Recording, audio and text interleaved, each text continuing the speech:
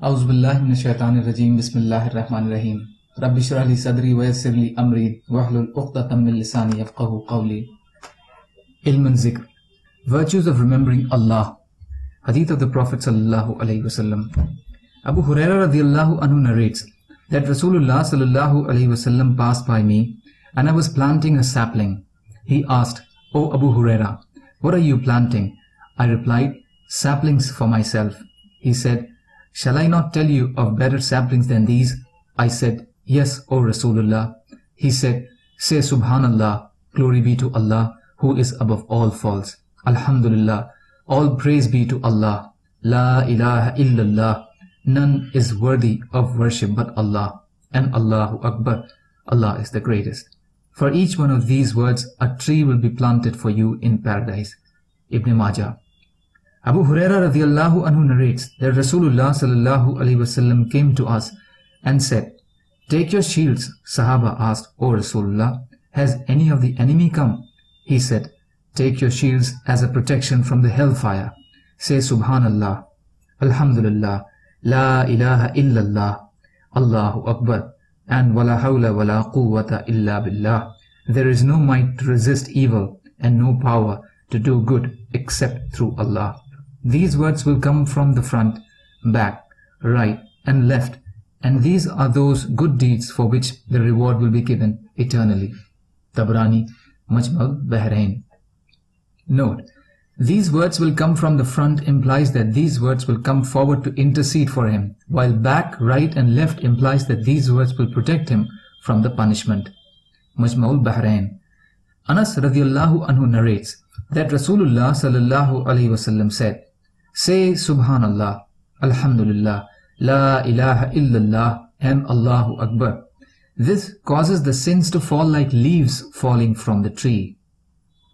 Musnad Ahmad.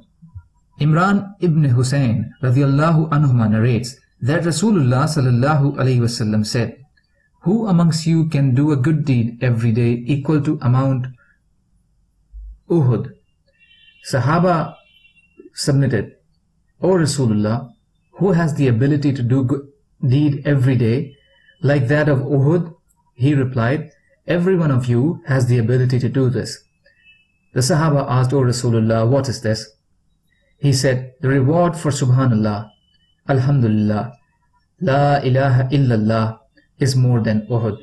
The reward for Allahu Akbar is also more than Uhud. Meaning for saying separately, Subhanallah, the reward is equal to Uhud. For saying Alhamdulillah, the reward is equal to Uhud. And similarly for saying La ilaha illallah, it is equal to Uhud. Tabrani, Bazzar, Majma'uz Zawaid.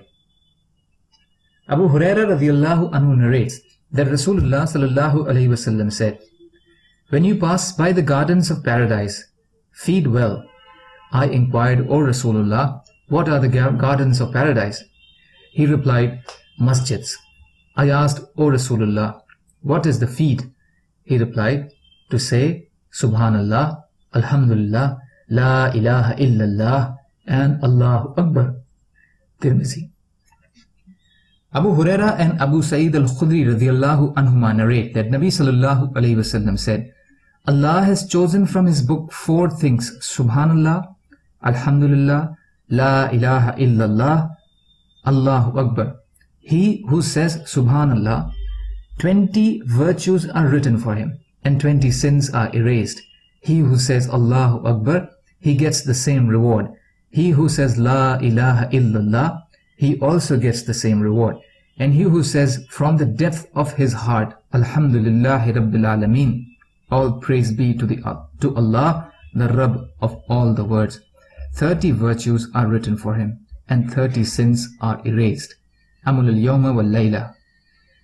Abu Sa'id al-Khudri radiallahu anhu narrates that Rasulullah sallallahu alayhi wasallam said, Excessively repeat the everlasting good deeds. It was asked, What are those everlasting good deeds, O Rasulullah? He replied, These are the fundamentals of deen. It was asked, What are these? So Rasulullah sallallahu alayhi wasallam said, Say Allahu Akbar, La ilaha illallah, subhanallah, alhamdulillah, wala hawla wala quwwata illa billah. Note, everlasting good deed implies those good deeds for which rewards will be given eternally. The Arabic word for al-millah refers to the fact that these words have a fundamental significance in deen. The hadith is from Mustadrak Hakim, an explanation is from Fathur Rabbani. Abu Darda radiallahu anhu narrates that Rasulullah sallallahu alayhi wasallam said, Say Subhanallah, Alhamdulillah, La ilaha illallah, Allahu Akbar, and Wala hawla wala quwwata illa billah. These are from the everlasting good deeds, which remove sins like the leaves shed from the trees. These are from the treasures of paradise. Tabrani, Majma'ul Zawaid. Abdullah bin Amr radiallahu anhuma narrates that Rasulullah sallallahu alayhi wasallam said, Whoever says on earth, La ilaha illallah wallahu akbar wa la hawla wa quwwata illa billah. None is worthy of worship but Allah. Allah is the greatest. There is no might to resist evil and no power to do good except through Allah. His sins are forgiven, even if those are like the foam of the ocean. Tirmizi. In another narration, the same reward is with the addition of Subhanallah. Glory be to Allah who is above all faults. And Walhamdulillah, all praise be to Allah. The hadith is from Mustadrak Hakim. Abu Huraira radiallahu anhu narrates that he heard Rasulullah sallallahu alayhi wasallam saying, Whoever sincerely says, Subhanallah, Walhamdulillah, wa la ilaha illallah, wallahu akbar, wa la hawla wa la quwwata illa billah. On this, Allah says, My slave has become obedient and has surrendered himself to me. Mustadrak Hakim. Abu Sa'id Khudri and Abu Huraira radiallahu anhuma both witnessed that Rasulullah sallallahu in a hadith Qudsi says, Whoever says La ilaha illallah wallahu akbar, his Rabb confirms and says, None is worthy of worship but me, and I am the greatest. And when he says, None is worthy of worship but Allah, the alone, Allah Ta'ala says, None is worthy of worship but me, and I am alone. And when he says, None is worthy of worship but Allah, the alone who has no partner, Allah Ta'ala says, None is worthy of worship but me, and I am alone and I have no partner. And when he says, None is worthy of worship but Allah, to whom belongs the kingdom and to whom all praise is due, Allah subhanahu wa ta'ala says, None is worthy of worship but me. To me belongs the kingdom and to me all praise is due. And when he says, None is worthy of worship but Allah and there is no might to resist evil and no power to do good except through Allah, Allah Ta'ala says, None is worthy of worship but me and there is no might to resist evil and no power to do good except through me. Rasulullah sallallahu alayhi wasallam said, Whosoever says the above words in his illness and then dies, the hellfire will not even taste or touch him. Tirmizi. Note, it means that when anyone is suffering from illness and he says the following when the fire of hell will not even taste or touch him. Yaqub ibn Asim rahimahullah narrates that two Sahaba radiallahu anhuma heard Rasulullah sallallahu alayhi wasallam saying, Any slave of Allah who says, لا إله إلا الله وحده لا شريك له له الملك وله الحمد وهو على كل شيء قدير None is worthy of worship but Allah, the alone, without any partners. His is the kingdom and His is all the praise and He has power over all things.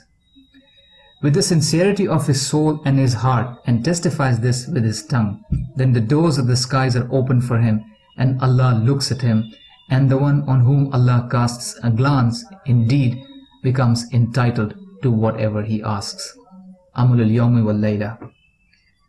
Abdullah ibn Amr radiallahu anhu narrates that Nabi sallallahu alayhi wasallam said, The best supplication is the supplication on the day of Arafah, and the best words which I and the prophets before me have said is لا إله إلا الله وحده لا شريك له له الملك وله الحمد وهو على كل شيء قدير